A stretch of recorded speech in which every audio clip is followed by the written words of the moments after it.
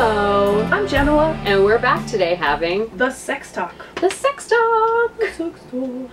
Today we were going to talk to you about sex contracts. Every couple has a sex contract. whether you- they know it or not. Whether you've talked about it or not, it's you have one. It's an unspoken or a spoken contract, but Yeah. every couple has one. Yeah. Sometimes you do it unspoken, increment by increment until you have the sex contract. Yeah. And some people do it out, right out of the gate, saying, "This is Right. what I like. This is what I don't like. Right. This is how many." Right. You know. So, so let's talk about what, for example, is in a sex contract. Okay, for example, like you and your partner always have sex with the lights on. That is now in your sex contract. It's what we do. It's what we like. yeah, Blah blah blah. Yeah, you've never talked about it. It's now your sex. Yeah. You always make out first and then get on your stomach and stick your butt up in the air. Yes. That's I do. you do that every time, Every time. and then you lean over and you s- switch the lights off. That's now in your sex contract That's because you do it yes. every time. Why do I gotta do that? Yeah, so you have these uh, unspoken or spoken things, Routines. routines in your sex life, Yeah. and so we're saying, why not shake it up a little bit? Why not talk about, like, have a real conversation? It's like, oh, you know what? We always do this, Yeah. Yeah. and let's try something new. Right. The thing about sex contracts is they're great if there is an opportunity to renegotiate them. All contracts should be open for renegotiation. Right. But if you don't know that you actually have a, a sex contract, how the hell are you Yeah. going to renegotiate If you've it? never thought about it, if you just go like, yeah, we have sex, blah blah blah, but Yeah. really, there's probably things in we there have sex that are our- given you can change. with our eyes closed every time. That's just how we do it. yeah. And your partner really wants to switch it up and wants you to watch. How do you know that unless you ask? Yeah.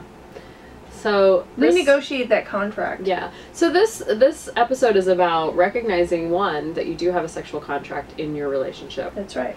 and two that it's probably unspoken, although many people might have spoken contracts, which You're yay. hip. You're Yeah. hip. You Yeah. might have one. Yeah.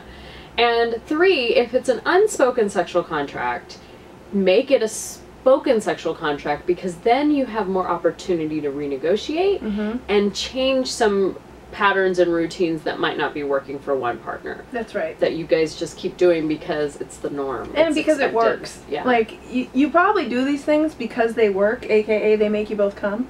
Like right you've kind of gotten to this place where you Mm. know you do this, and you do this, and then from Mhm. behind, and then in the top, and then the vibrator, whatever, and you know that works. but if you actually have a conversation about this unspoken contract that you have, you'll probably find some room for improvement where someone is probably has an idea yeah for something they'd like to try Right. that could be even more fun than the thing you're doing now. right right like maybe opening your eyes maybe flipping over from time to time oh, could you just watch me while I touch myself? could we not do it on the bed For once. for once Yeah, that count, that kitchen counter is like the right height. Can we just? i like the dining table a lot so cute. the elevator I'm just saying, there's so many options. there's so many options so review your sex contract with each other Mm-hmm. if you haven't already Yeah. and check out areas that could use some improvement. Clauses. Yeah, Some new clauses. some new clauses. for your contract. And again, what is this the thing we like about this? It's communication, Yeah.